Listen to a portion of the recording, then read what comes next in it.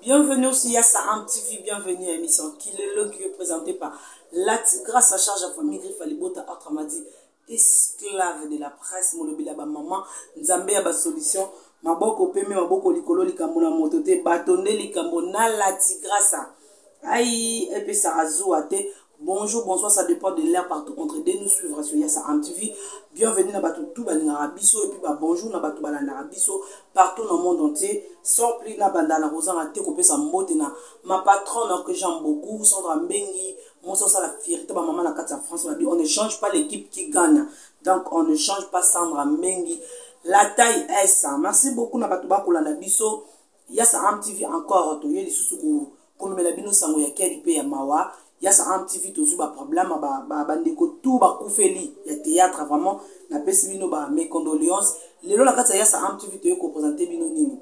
melodie badiama melodie poni badiama akufi vraiment eza na bato ebele bayebi ke melodie azalaki kosala théâtre ya moma bomonaki ye lisusu te abungaki me melodie akufi akufi na maladi normal ndenge moto nyonso abelaka me lokola biso na fese tomona tomona moto akufaka te kosa mona kopike bacrise makambo ebimi ke melodi badiama akufi na sida melodi badiama bawelaki bazalaki na barivalité entre mamisa yango ekimisaka yake ndako aza e mamisa aza cause ya makambo ebele ebele tokolobela yango awa na plateau ya yasa amtv epuis toza na baargument moko tokotia awa bavideo mpe ezali bokomona ya matanga na ye tokomona mpe lisusu ndenge ndeko na biso juri cobetos akoeclaircir biso mpo na makambo yango parce que mingimingi bakoloba me baepreuve ezali te banda makambo oyo ebandi na moto abimisa biso baepreuve te ezalaka nini na bandeko na biso baartiste ya comédien je commence encore de dire encore toutes euh, mes félicitations na bato tout bakomantaka baémission na ngai bato bapartageaka bato baemaka vraiment bafélicitation mpe bacourage na bino bokoba toujours kosala mosala oyo ekosala ngai babien ntango nakoba bato bapartageaka baémission na ngai je vois mon frère propre dj baby garçon sela sa mefe Hein, ye pena nde toujours mosala. Je profite de dire encore tous mes coucou à Aubry Pandu, le mystérieux garçon capable. Là, je vois boss des boss, boss Babi, le pétrolier le plus célèbre de l'Angola, les pétroliers le plus célèbre de l'Angola, boss Babi, euh, ye moko opemelaka ye mwa moke te opemaka mwa moke epesaka zuwa te ah ye moko alex fumwanti alex fumwanti na page flow bloc des asetes le pétrolier le plus célèbre mokonzi ya bamillion cash money mpena eza wana ya baje te to okoba toujours na mosala je dis encore bonjour à miguel envemba le silencieux de kabinda miguel envemba le silencieux de kabinda force tranquille force tranquille moto asimbi mwinda balandaka ye na nsima to kolanda toujours na nsima ya sadame makese lwanda luija motolo bukolo kokoto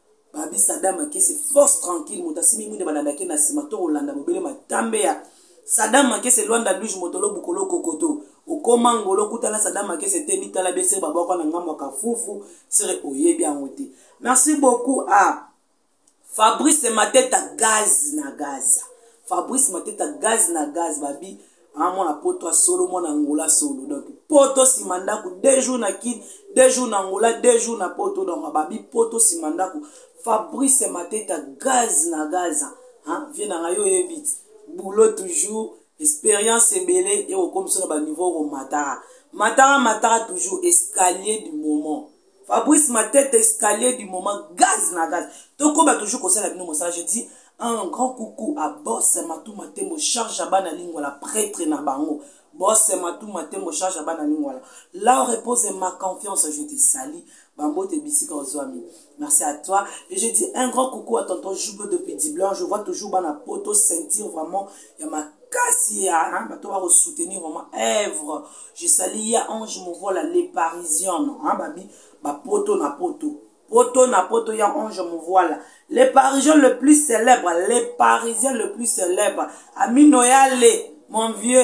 toujours euh, toujours mosala ekosalama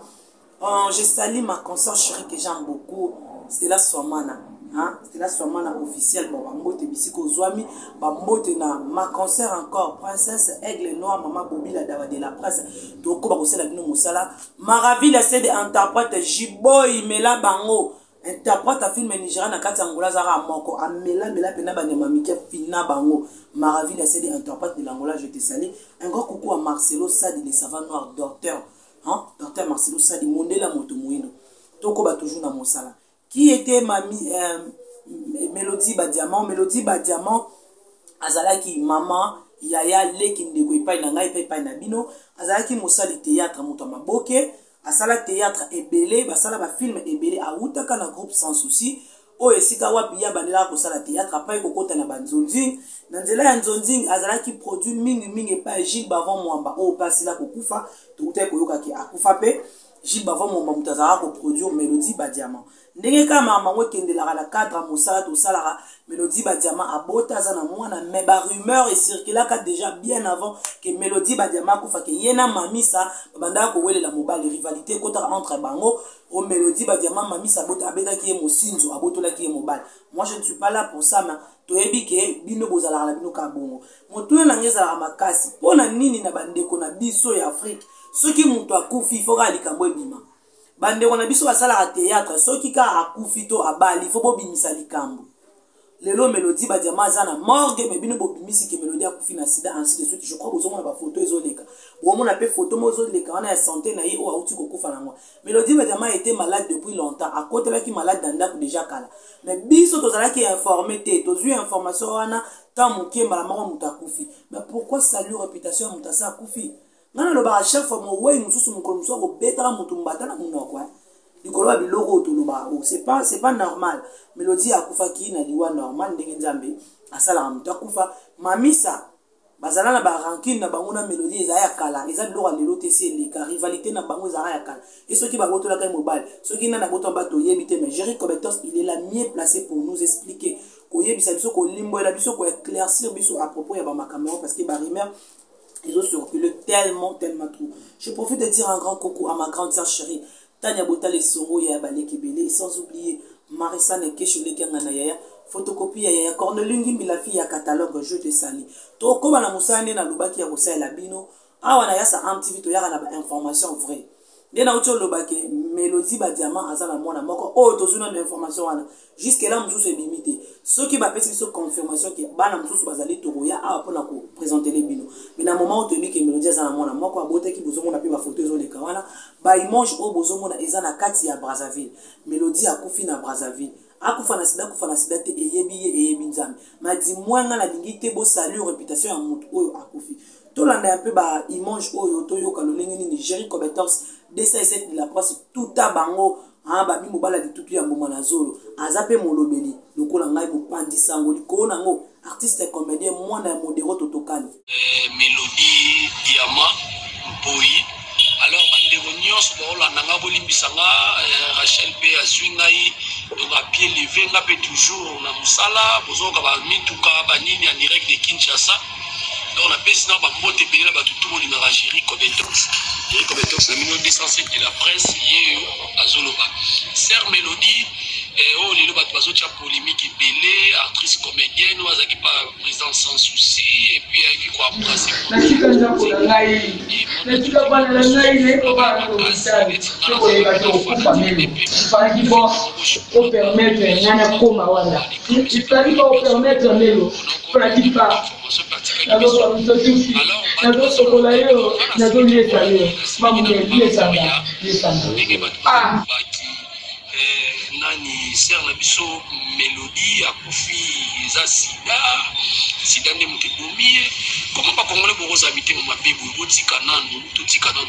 buzoba tika na buzoba na bakumba bato moto soki akufi famille na bango baolela baa na mpasi me bozotya lisusu komona bele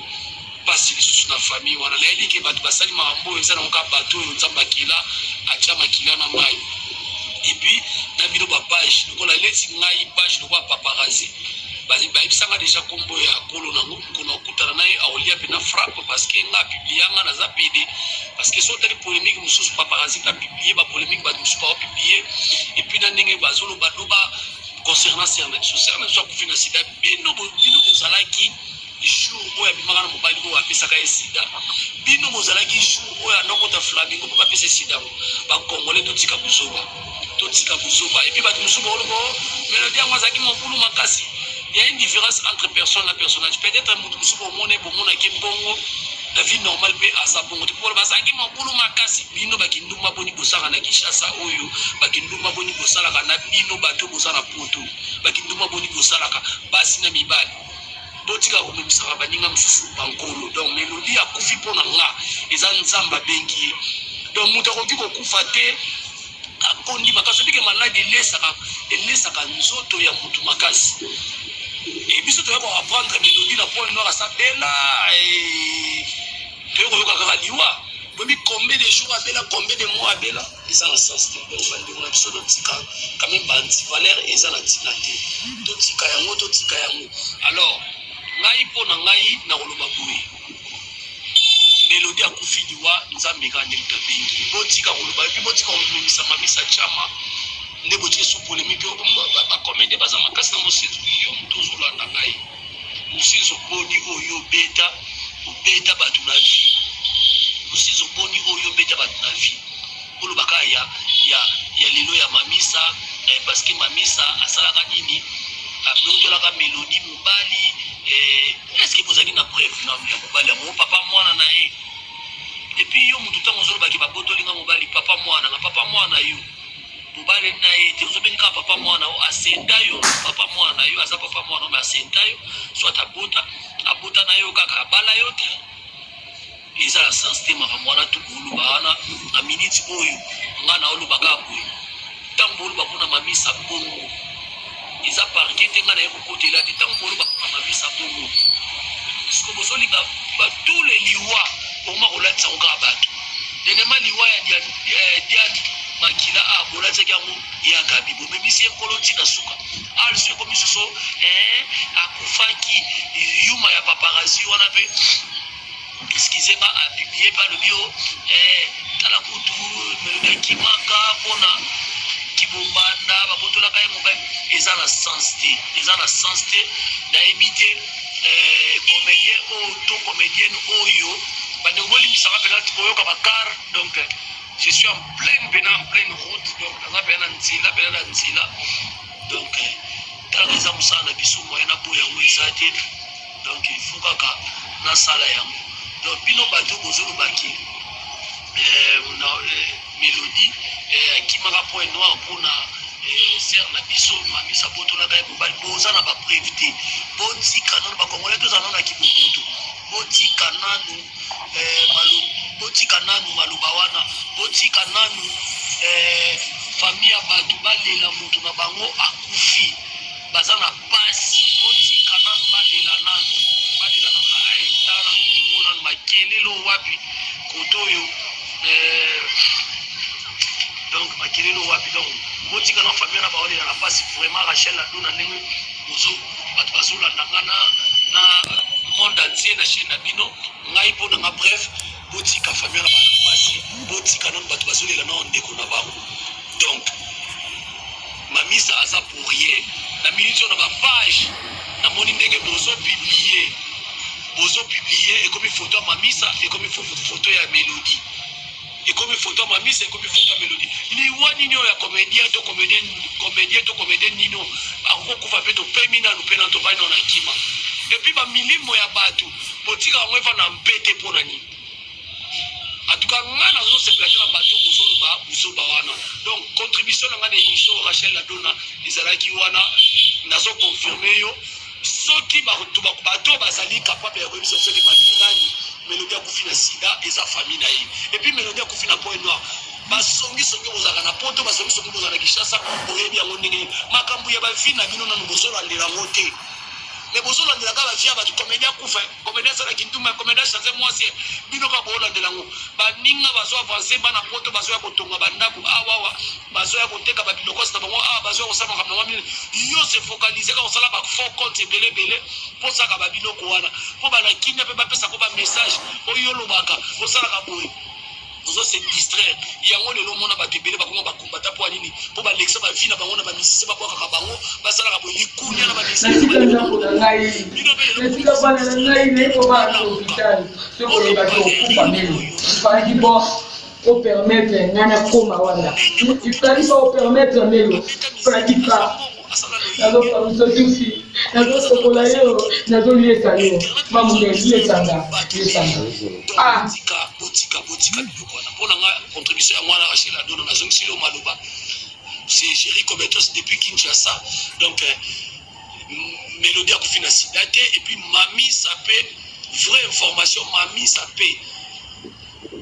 soki abotolaki melodi mobali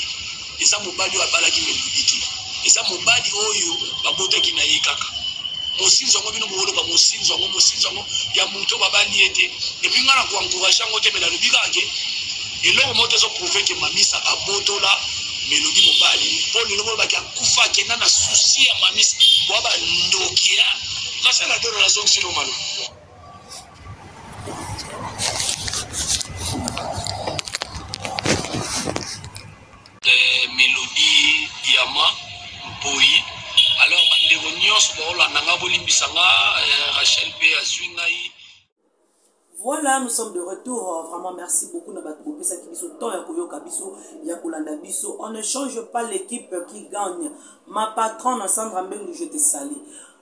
vraiment bino moko boyoki jori cobertors ndenge alobi vraiment c'est pitié kolandaka bamakambo ya boye na tv tokoya kolobelaka biloko ya boye te c'est pas normal mais quand on vient ici ezala po toya kodementir bamakambo wana kotalisa mwa makambo ate beye bayebi la tigrasa nalobaka toujours ke ngai nazalaka na ngambo ya moto te nazala na ngambo ya vérité ndeko na biso akufi touta ekoyoka ndeko na biso akufaka diana makila bino moko boyoki makambo makambo ebimaka bolatisa kuluzu kaka ndenge cometos alobi bolatisa kuluzu epai ya yaya gabi awa naomi nani akufa kaka naomi kipulu ndenge moko oyo akendaka pisine oyo bapoisonaki ye babana ya, ya, ya, ya, ya, ya nani oyo auti kokufa kikedi o te eh, boye toujours toujours barumeur mosusu ezalaka bien te biso mpena bato ya biso mpena bato ya tv tokoki kozwa makambo na biso tobomba yango na nsima tv te il faut tomemaka makambo na biso na etando ikesi pas normal vraiment toyekola babonne manière toyekola balolenge ya korespectaka bamort ya baninga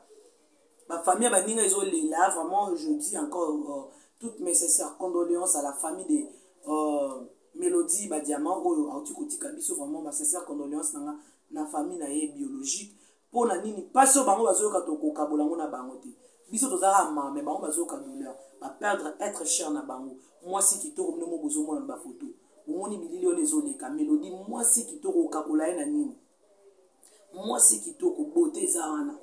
tai kutu koloba te gentillesse moko elalaki wana ozwa ide te me lelo atiki biso soki melodi akei boni boni yo moto akakenda kotongaka bato moto okenda kopanzaka bato na bapage oyo bozobimisa bainformation ya mabe bapage oyo bozopiblie makambo wana te ya mati melodi atiki ta mosusu na ndako na ye mbongo atiki batelefone atiki baprojet d'avenir azalaki na yango atiki bamakambo na ye ebele oyo mpo kokotika lobi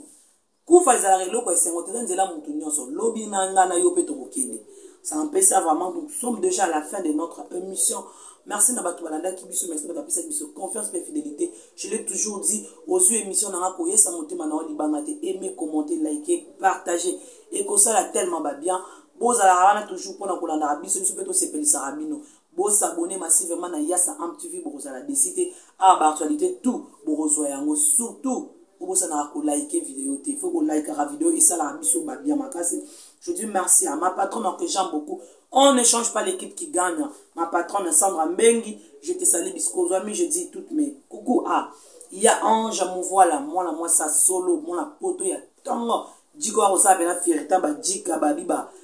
Colis toujours na toujours oh, ya Ange Mouvoila, le parisien le plus célèbre, ami Noya le jour te sali. Je salue Batoutou Balanda qui n'a du début jusqu'à la fin. Là on repose ma confiance, le cœur de la tigresse, je te salue encore. Tonton Jube depuis Diblé, Bakoukou na yo yango yo. Babi, un garçon social, playboy, likofi, nanga na bomba na sima moukongo. Yepena loba la tigresse, barre moutou. nga moko naza wana na kofuta merci beaucoup à toi je sais tote le playboy hein tokoba toujours kosala bino mosala bozala awa na yasa am tv bozala desi te l'émission kilelo qui était présentée par la tigresse à charge à famille grifa libota entramati esclave de la presse molobeli ya bamama nzambe ya basolution maboko pembe maboko likolo likambo na moto te bato nde likambo na la tigresse tokutana mbala ya nsima na yasa am tv tolobela baactualité mosusu au revoir